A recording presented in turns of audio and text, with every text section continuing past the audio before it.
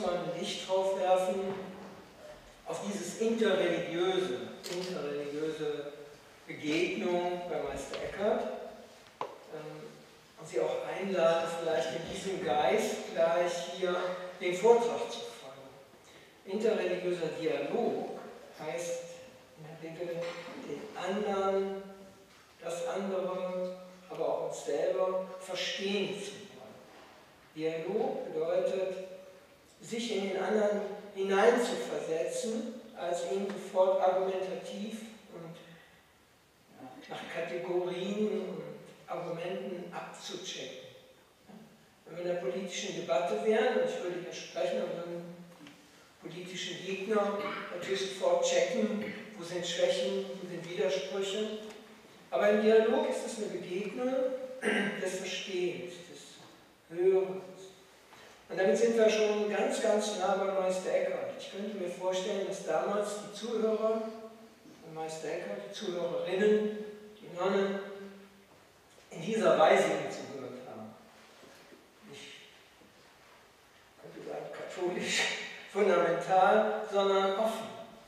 Weil er da was vermittelt, was ja den Verstand und das normale Verstehen, die Begriffe übersteigt. Das war ja auch sein Problem. Er schuf neue Begriffe, Gottheit, um Gott zu, trans zu transformieren, zu transzendieren, zu etwas Größerem, noch Größerem als das, was wir unter dem Begriff Gott fassen. Und in diesem Sinne verstehe ich auch die Veranstaltung, dass wir hier aus verschiedenen Perspektiven ein Licht werfen auf einen großen Geist, der 700 Jahre vor uns gewirkt hat und auch heute überraschend aktuell ist uns heute noch Dinge sagt, die wir immer noch nicht wirklich verstehen und versuchen zu verstehen. Ja, also in diesem bitte ich Sie zu folgen und vielleicht noch so ein Bild, das ich von Glessman Roshi, einem Zen-Lehrer unserer Zeit, mitnehme, der einmal auf einem Vortrag sagte, wir tragen alle so Köcher mit uns auf dem Rücken, so Köcher mit Pfeilen. Und in diesen Köchern, da sind unsere Weisheiten, unser Wissen gespeichert. Und immer wenn wir irgendeinen Begriff und Wort hören, dann ziehen wir so einen Pfeil und können dann sofort abschießen. Ja? Zack, ergriffen, getroffen. Und das führt manchmal zu Missverständnissen. Manchmal schießen wir zu schnell oder vielleicht aufs falsche Ziel.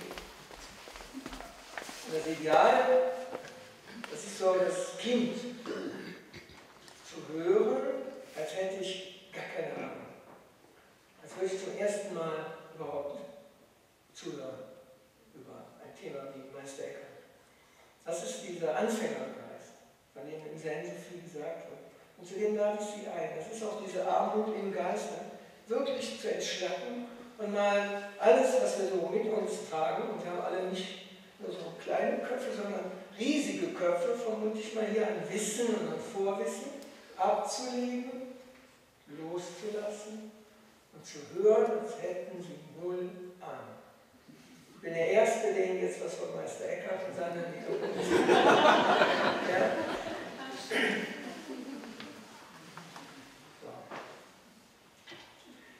Nun kommen wir zum Thema. Ich bekomme auch ein Zeichen, wenn ich irgendwie zu lang ähm, Die Lehre Meister Eckerts zu referieren, das ist eigentlich eine Aufgabe, die mich fast überfordert. Denn wenn Sie nachschauen in der Literatur, zu Meister Eckert gibt es sehr, sehr viele, sehr kompetente und vor allem sehr, sehr dicke klug geschriebene Bücher. Und ich kann Ihnen wirklich ehrlich gestehen, ich habe sie auf keinen Fall alle gelesen, geschweige denn verstanden.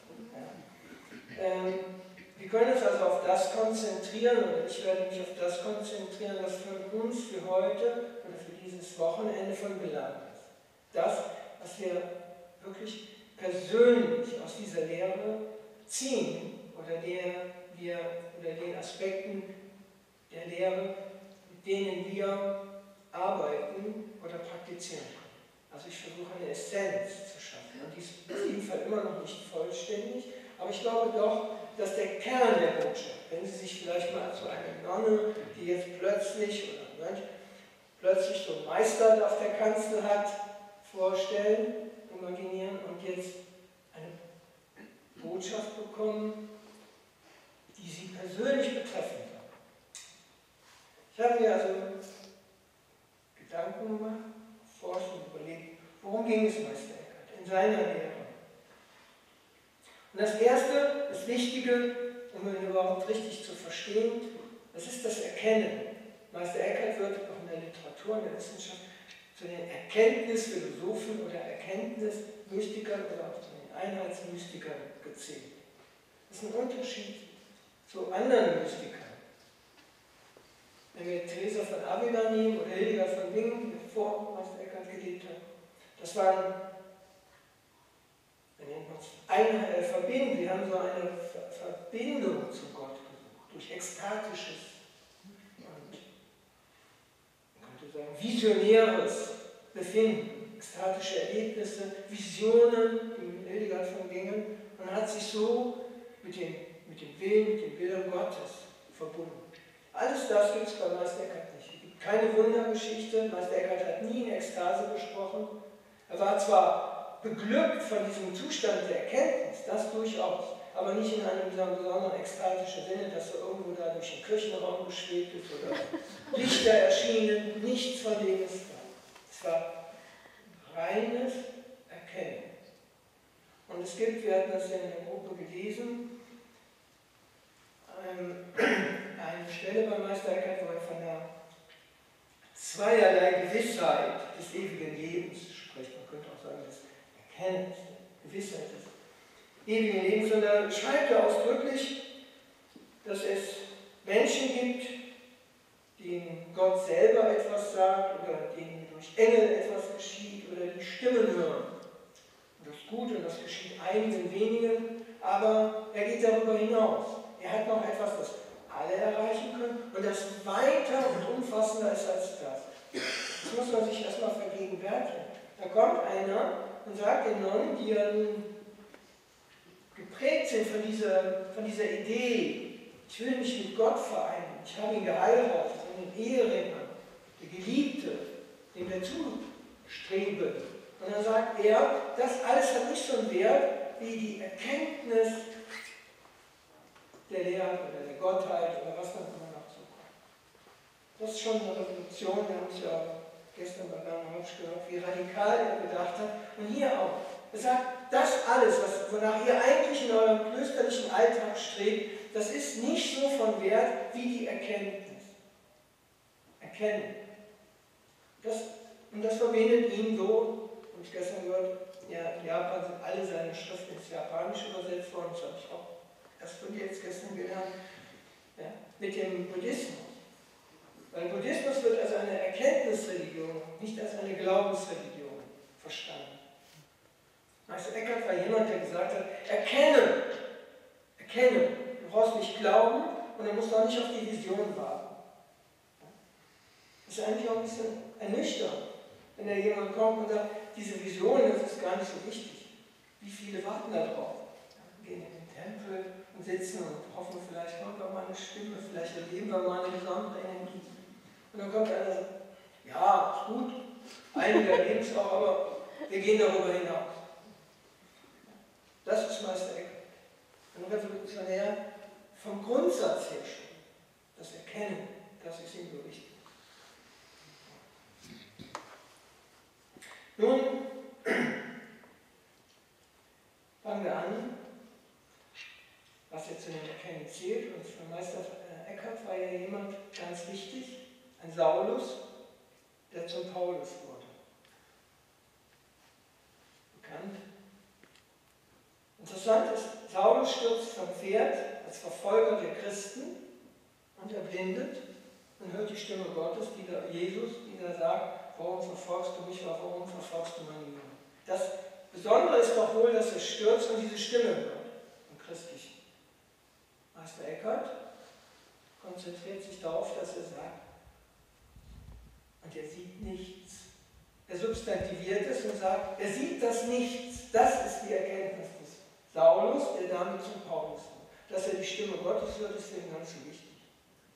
Wichtig ist, der Saulus fällt vom Pferd, ein dramatisch, wir es gestern in der Gruppe, ein dramatisches Ereignis, führen dramatische Ereignisse zu Erwachungserfahrung, offensichtlich bei Saulus ja, denn nach Meister Eckhart sieht er das Nichts, kommt in das totale, die totale Leerheit des Geistes.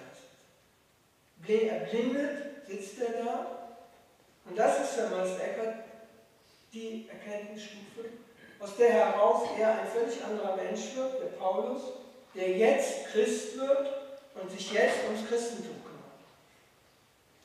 Wichtig ist auch, dass diese Art der Erkenntnis des Nichts nicht, wir es gestern in der zum dumpfen oder fatalen Dasitzen wird. Saulus wird nicht in Frührentner oder so, sondern im Gegenteil, es fängt erst richtig an. Es höchst aktiv, schafft eigentlich das Christentum, kann sagen, ohne Paulus keine Christenheit, aber aus der Erkenntnis des Nichts nach Meister Ecker, nach der Interpretation von Meister Ecker. Historisch gesehen ist das wahrscheinlich fragwürdig, weil Saulus das, der spätere Paulus das so gar nicht gesagt hat, so exakt, wie es Meister Ecker interpretiert. Aber das Erkennen ist also das Erkennen des Nichts, der Lehre. Wieder eine große Verbindung zum Buddhismus. Da muss man uns fragen, was ist denn dieses Nichts, was er da erkennt? Und das ist natürlich auch Frage. Er geht darauf ein. Und ich versuche hier Ihnen heute eine, einen Weg aus buddhistischer Praxis vielleicht, einen Weg aufzuzeigen, der uns eine Idee von diesem Nichts geben kann. Ein Gefühl und vielleicht auch eine Orientierung zu diesem Nichts. Weil interessanterweise wird ja dieses Nichts als der wahre Zustand wahrgenommen oder beschrieben, während das Etwas, das, was wir so allgemein als Welt sehen, als Täuschung wahrgenommen wird. Und das beschreibt er auch. Er sieht es als das Bildhafte, das Vermittelnde. Und das sieht er als negativ. Alle Bilder müssen gehen, muss geläutert sein, ein lauteres sein. Und dann denken wir, oh Gott, oh Gott, das klingt ja schon alles ein bisschen anstrengend, auch kompliziert, ein lauteres Sein.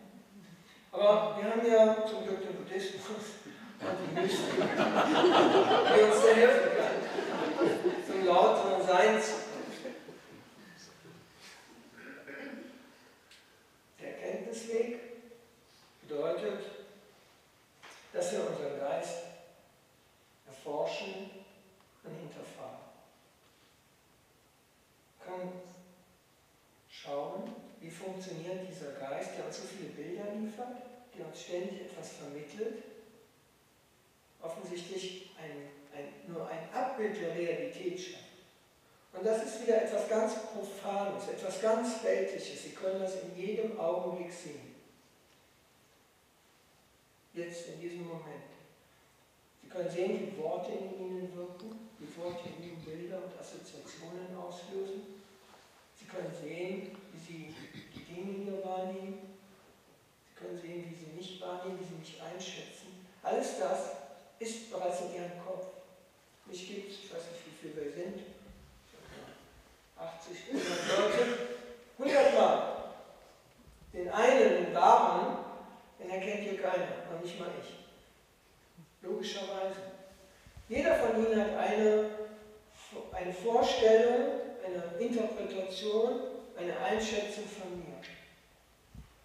Die ist unterschiedlich. Wenn Sie jetzt eine Gruppe bilden und sagen, okay, lass mal doch mal reden, wie war denn diese Einheit, dann kommen ganz verschiedene Einschätzungen. Möglicherweise auch brillant und wunderbar, und es hat mich tief bewegt, bis, naja, ich weiß nicht, konnte nicht so viel mit anfangen oder so. Wer ist der Wahre? Wer ist das? Wer ist der unvermittelte, der direkte? Und das ist das, wenn wir jenseits dieser Interpretation der Gedanken nicht denken. Komischerweise bei beiden, bei Meister Eckhart und bei Dogen, ein Meister, der zur gleichen Zeit in Japan lebte, identisch im Sprachgebrauch. Beide benutzten solche Begriffe wie Nicht-Gott, das brauchte Dogen nicht, weil es bei Buddhismus ja Gott so nicht gibt, aber das Nicht-Denken. Denk aus dem tiefsten Nicht-Denken heraus, das Dogen. Das ist natürlich wieder so ein Satz, der erläutert werden müsste. Aber bei Meister Eckhart ist es das Gleiche, dass er sagt, ihr müsst hinter dieses Denken, hinter dieses Aufbauen eines Bildes kommen. Eure Interpretation. Dann kommt ihr zu der direkten, unvermittelten, absoluten Wahrheit. Und die ist leer von diesen ganzen Konnotationen, von diesen ganzen Interpretationen und Verständnissen. Leerheit ist etwas, was sozusagen hinter den Bildern ist. Und was sich uns erschließen kann, wenn wir, und das ist dann der Weg der Meditation, wenn wir den Geist zur Ruhe bringen können. Deswegen machen wir jetzt hier Kontemplation. Wir machen Kontemplation, weil wir diesen geschwätzigen, was der Eckert sagt, der kläffende Geist, das Bild hat es exakt drauf, lass das mit Kläffe sein. Drehen und drehen und drehen. Und wenn wir dann in diesem Zustand sind und jemand sagt, was siehst du da, dann können wir nichts sagen, dann sagen wir nichts. Das ist aber langweilig. Inomia Lasal, der war ja Christ und erster Zen-Meister, als er dann seinen und Ordensmönch, seinen christlichen Ordensbrüdern zeigte, wie man meditiert, dann sagte ihm, ja, aber da geschieht ja nichts. Und dann sagte er, darum geht's. ja. Damals war Meditation auch nicht so Problem und nicht so, könnte sagen, bekannt und auch geschätzt. Es geht darum, dass wir diesen schwätzigen, schwätzigen, sich ständig aktiv einschaltenden Geist zur Ruhe bringen, stoppen. In Japan ist das Schriftzeichen für Meditation stoppen. Nicht Kontemplation, nicht Meditation. Ein schlichtes Zeichen für stoppen. Das ist auch in den Straßenschildern, im Straßenverkehr. ist das gleiche Schild. Stopp. Wenn du in einem Kloster bist und guckst den Tagesablauf, dann steht dann da nicht Meditation, sondern Stopp. Rein in den Tempel oder ins Dojo und dann wird gestoppt. Und wenn wir stoppen, ich komme gerade auf mein Stoppen, dann entsteht etwas, was wir mit dem schlichten Wort Leerheit bezeichnen können. Der Kopf wird leer, aber eben auch leer werden all die Worte, Gedanken und Begriffe. Und wir kommen zu einer Wahrheit, die dahinter liegt. Und jetzt nochmal so zurückgeführt von dort aus, dann erkennen wir, dass das, was wir hier machen, eine mentale, geistige Produktion ist. Jeder auf seine Weise. Und dass es nicht die absolute Wahrheit ist, sondern eine rein individuelle, zufällige Wahrheit unseres Geistes. Und die ist nicht falsch, die ist auch nicht richtig, sondern sie ist einfach ein Kommentar auf die Realität. Willst du aber die Realität berühren, die absolute Wahrheit, dann musst du dahinter schauen. Das heißt, es ist keine Dualität von richtig und falsch. Leerheit ist nur der Hintergrund, auf dem das Leben spielt. Aber wir brauchen das Leben, kommen wir auch zu Lassen und Loslassen, gar nicht greifen wollen, weil es nur eine, ein Spiel ist, eine Täuschung, eine individuelle Kreation, milliardenfach, die nicht die Realität wiedergibt. Und wie beschränkt, wie bescheiden unsere Wahrnehmungsebene ist, das können Sie auch sogar in der Stille noch wahrnehmen. Wenn wir uns jetzt hier wahrnehmen, dann würden wir sagen, wir sind ruhig, wir sitzen. Es ist eine Stille da, eine Konzentration. Wenn Sie aber mal etwas universeller, kosmischer schauen, dann drehen wir uns in diesem Moment, jetzt in dieser Sekunde, mit gigantischer Geschwindigkeit auf dem Erdball. Die Erde dreht sich in ebenso gigantischer, noch größerer Geschwindigkeit um die Sonne. Gestern wurde gesungen, die Sonne geht ihre Kreise, das ist auch eine Täuschung. Wir ziehen die Kreise und die Sonne steht. Aber auch die Sonne kreist, kreist nämlich mit der ganzen Galaxie. Nochmal eine gigantische Geschwindigkeit. Keine Kirmes schafft so ein bewegtes äh, Modell, wie es, äh, kein bewegtes Karussell, wie wir es hier gerade auf der Erde haben. Und diese Galaxie an sich dreht sich um sich selber und bewegt sich nochmal in einer sehr, sehr großen Geschwindigkeit auf die nächste Galaxie zu und in mehreren Milliarden Jahren wird es kollidieren. Das heißt, wir sitzen hier gar nicht still. Wir sitzen in einer totalen Bewegung, die wir nur nicht wahrnehmen. Die Realität dieses Augenblicks ist, wir sind rasend schnell unterwegs. Das ist die Realität des Augenblicks. Aber das blenden wir aus, das ist auch gut so. Speed.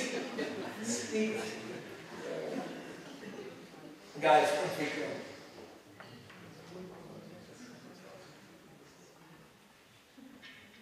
So.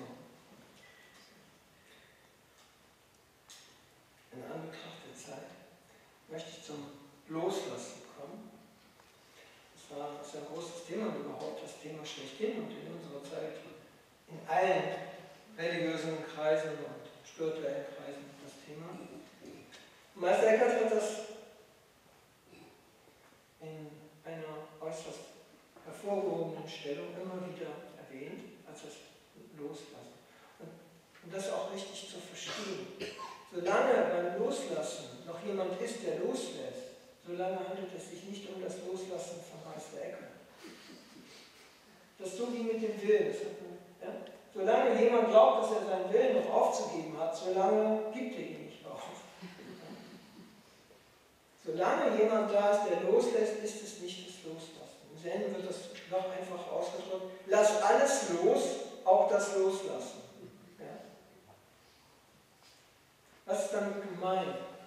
Wir sind vom Erkennen, vom Erkennen aus loszulassen, bedeutet eigentlich nur zu erkennen, dass wir nichts halten können. Das ist die Wahrheit. Wir haben jetzt gerade die Geschwindigkeit beschrieben, wir könnten auch die Vergänglichkeit des Augenblicks beschreiben. Von diesem jetzigen Augenblick. Wir sitzen alle hier und wir haben das Gefühl, ich bin hier und ich bin heute Morgen aufgestanden und ich war gestern Abend hier und es ist alles so identisch, das bin ich. Aber in dieser Zeit haben Sie schon eine Wandlung und auch eine Lebenszeit vollzogen, die vergangen ist, die nicht mehr zurückzuholen ist und mit jedem Atemzug geht ihre Lebenszeit weiter. Das heißt, während sie sitzen und in der Stille sich vergegenwärtigen, fließt ihr Leben weiter. Ununterbrochen stetig. Sie werden von Sekunde zu Sekunde älter. Das zu vergegenwärtigen. Neben dem Wandel, ist dann nochmal ein anderer Aspekt des Buddhismus, dass sie sich auch noch jede Sekunde verwandeln. Ich weiß nicht, wie es Ihnen ging, als der Vortrag anfing und wie es Ihnen jetzt geht. Ich hoffe, es gab eine positive Verwandlung. Aber sie verwandelt, geistig und auch körperlich. Irgendwann kommen sie durch, irgendwann haben sie Hunger. Alles das geschieht ganz automatisch. Das Leben fließt, wenn sie sitzen und glauben zu stehen. Das sind die Täuschungen, und wenn wir erkennen, dass das Leben so fließt, dann wissen wir, dass wir nichts loslassen brauchen, weil wir, schon gar, weil wir gar nichts halten können. Ja? Das ist das Loslassen von Meister Eckhart. Es ist diese Täuschung, dass irgendwas festzuhalten sehe das Bild nochmal, was ich gestern in der Gruppe hatte, von dem Karussell. Ich finde es wunderbar, weil es so nett ist. Die Kinder im Karussell, Kleinkinder, kennen das, diese Feuerwehrautos, Motorräder, Pferde und was es da alles ist. Und wenn dann so ein Kleinkind auf so einem Auto oder so einem Pferd sitzt, dann lässt das nicht los, das hält fest, nicht nur um sich selber zu schützen, sondern weil es glaubt, es muss irgendwie mitführen, während sich das Karussell in aller Ruhe. Und zwar in seiner Geschwindigkeit.